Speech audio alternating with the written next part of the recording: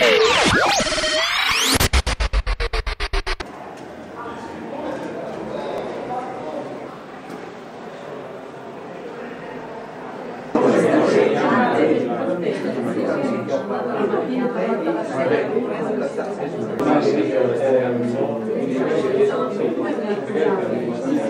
Siamo in compagnia del professor Piras, docente della Facoltà di Conservazione dei Beni Culturali, Università di Bologna, sede di Ravenna. Di cosa parla il volume che presentate oggi? Il volume è dedicato alle conoscenze mediche fra Oriente e Occidente. Una, sono gli atti di un convegno che si è tenuto a Bologna l'anno scorso, atti che sono stati in tempo ragionevole pubblicati. L'argomento era quello come dire, della medicina eh, nella sua dimensione globale, quindi non solo medicina dell'Occidente, quindi la scienza eh, greca, ellenistica, romana e poi medievale e in generale quello che è stato il percorso della scienza occidentale, ma vedere questo percorso scientifico, terapeutico in relazione con altre medicine, come quelle appunto dell'Oriente, come quelle di altri saperi tecnici, scientifici, che hanno caratterizzato quello che è stato un incontro nel Mediterraneo fra eh, saperi, tecniche e medicine di ambiti, di culture e di provenienza differente. Questo a riprova di una globalizzazione della cultura che ben prima della, di questo termine direi che caratterizza la storia del nostro continente euroasiatico.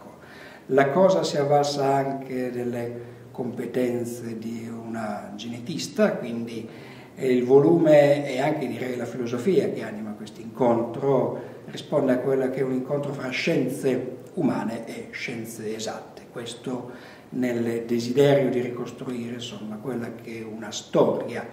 culturale che è stata fondamentalmente una storia di contatti, una storia anche eh, di sovrapposizioni fra quella che è una scienza appunto dell'antichità, sempre rappresentato come dire, una vocazione anche a una completezza di tecniche, eh, di saperi, di rimedi, ecco, quindi non culture in scontro, per usare un'altra banalizzazione frequente oggi degli scontri di civiltà, ma culture in incontro magari eh, spesso conflittuale, spesso comunque non agevolato da una immediata comprensione, però diciamo in un dinamismo comunicativo, quindi dialettico, che ha fatto sì che la storia del nostro Occidente sia in realtà appunto una storia di un continente euroasiatico che non prevedeva confini, barriere e anche quelle più insormontabili come la lingua o la differenza di mentalità potevano essere adeguatamente compensate e superate grazie al